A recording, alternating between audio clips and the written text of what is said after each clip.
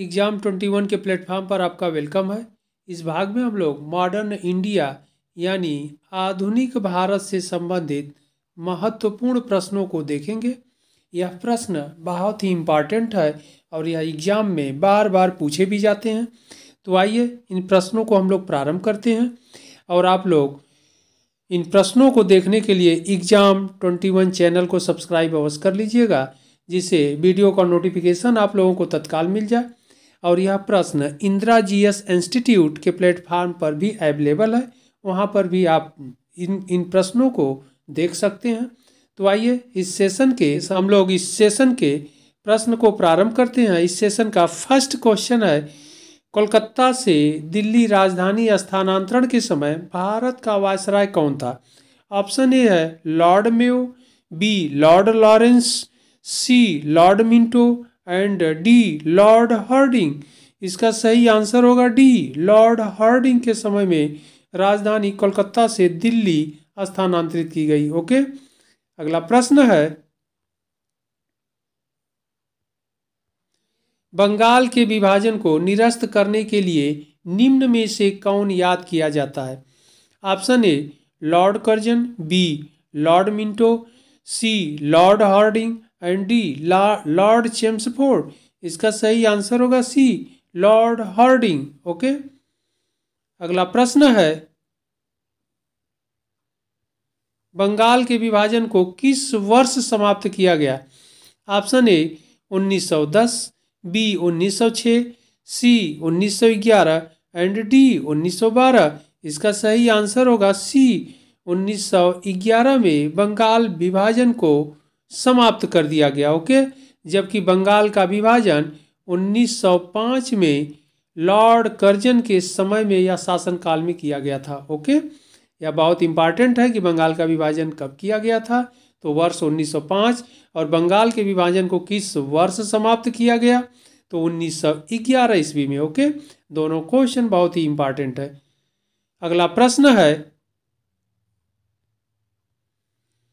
किसने हाथ से बने हुए खादी के वस्त्र पहनकर शाही दरबार 1877 में भाग लिया था, okay?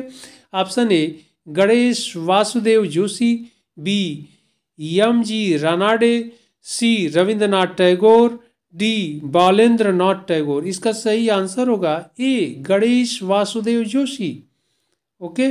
अगला प्रश्न है स्वराज मेरा अधिकार है और मैं इसे लेकर रहूँगा। निम्नलिखित में से किसने कहा था? ऑप्शन ए एनी बेसेंट ने। बी गोपाल कृष्ण गोखले ने। सी लाला लाजपत राय ने। डी लोकमान्य तिलक ने। इसका सही आंसर होगा डी लोकमान्य तिलक का यह स्टेटमेंट है अथवा कथन है स्वराज्य मेरा अधिकार है और मैं इसे लेकर रहूँगा। ओके अगला प्रश्न है भारतीय राष्ट्रीय कांग्रेस एवं मुस्लिम लीग के बीच प्रसिद्ध लखनऊ समझौता हस्ताक्षरित हुआ था, ओके?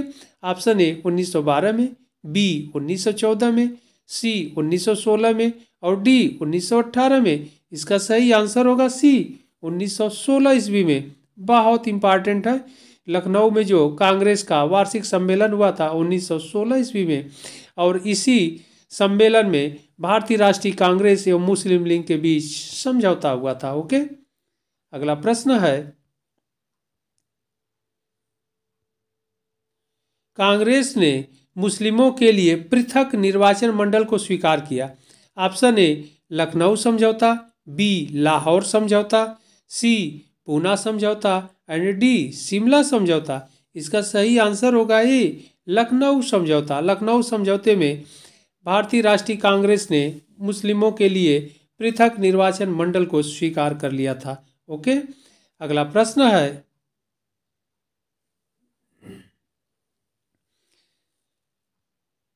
दांडी कहाँ पर स्थित है?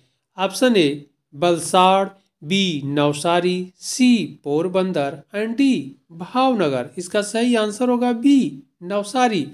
और दांडी जो स्थल है, वह गुजरात राज्य में स्थित है, गुजरात में पड़ता है और नवसारी ज़िले में डिस्ट्रिक्ट है, ओके? बहुत इंपॉर्टेंट क्वेश्चन है बार बार एग्ज़ाम में पूछा जाता है। अगला प्रश्न है, सविनय अवज्ञा आंदोलन गांधी द्वारा किस वर्ष आरंभ किया गया? Option A 1921 B 1935 C 1930 and D 1942 इसका सही आंसर होगा सी 1930 ईस्वी में। गांधी जी द्वारा सविनय अवज्ञा आंदोलन आरंभ किया गया था, ओके? अगला प्रश्न है, निम्नलिखित में किसको सीमांत गांधी कहा जाता है? Option A, Jinnah, B, Liaquat Ali, C, Syed Ahmad, D, Khan, Abdul Ghaffar Khan. तो सीमांत गांधी के नाम से प्रसिद्ध थे खान अब्दुल गफ्फार खान। इसका सही आंसर होगा डी, ओके? अगला प्रश्न है, किस गोलमेज सम्मेलन में गांधी जी ने पहली बार भाग लिया था? ओके, ऑप्शन ए, प्रथम गोलमेज सम्मेलन, बी, द्वितीय गोलमेज सम्मेलन, सी, तृतीय गोलमेज सम्मेलन और डी, उपर्युक्त सभी। तो गांधी जी द्वितीय गोलमेज सम्मेलन में भाग लिए थे पहली बार, इसका सही आंसर होगा बी। ओके, अगला प्रश्न है किसने लंदन में आयोजित तीनों गोलमेज सम्मेलनों में भाग लिया था? Option A, M Ali Jinnah, B B R Ambedkar C M N Joshi and D, J L Nehru. इसका सही आंसर होगा बी। बी आर अंबेडकर तीनों गोलमेज सम्मेलनों में भाग लिए थे, ओके? अगला प्रश्न है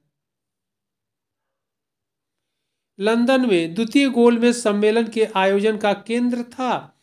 Option A, Saint James Palace, B, Kingsley Palace, C, Buckingham Palace और D, Ten Downing Street. Okay? तो इसका सही आंसर होगा ए, सेंट जेम्स पैलेस में द्वितीय गोलमेज सम्मेलन का आयोजन हुआ था। ओके? अगला प्रश्न है महात्मा गांधी द्वारा स्थापित हरिजन संघ के संस्थापक अध्यक्ष थे। तो हरिजन संघ के संस्थापक अध्यक्ष कौन थे? Option A, Mahadev Desai. B, Ghanshyam Das Birla. C, Amrit Lal Thakkar.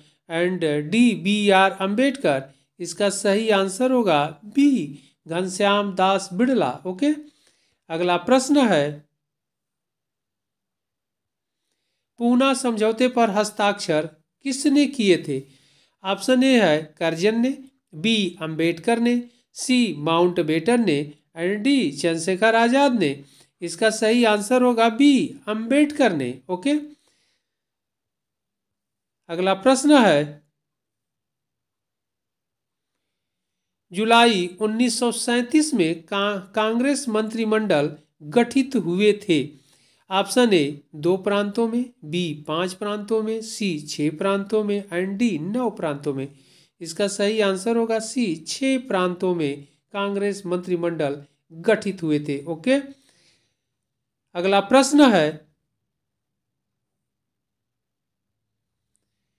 1936 में इंडिपेंडेंट लेबर पार्टी की नींव, निम्न से एक ने रखी। Option A M N Joshi B Lala Lajpat Rai C B R Ambedkar and D M K Joshi इसका सही आंसर होगा सी बी आर अंबेडकर ने 1936 में इंडिपेंडेंट लेबर पार्टी की नींव रखी है लेबर पार्टी की स्थापना की ओके अगला प्रश्न है। बंगाल में कृषक प्रजा पार्टी के संस्थापक थे। Option A Swami Sahajanand B Mazharul Haque, C Fazlul हक, एंड डी मोइनुल हक। इसका सही आंसर होगा बी मजरूल हक। ने बंगाल में कृषक प्रजा पार्टी के संस्थापक थे या स्थापना किए, ओके? तो यह इस सेशन के इंपॉर्टेंट प्रश्न थे। इन प्रश्नों को आप लोग अच्छे से देखिएगा। फिर हम लोग इंपॉर्टेंट प्रश्नों के साथ मिलते हैं अगले भाग में। तब तक के लिए धन्यवाद।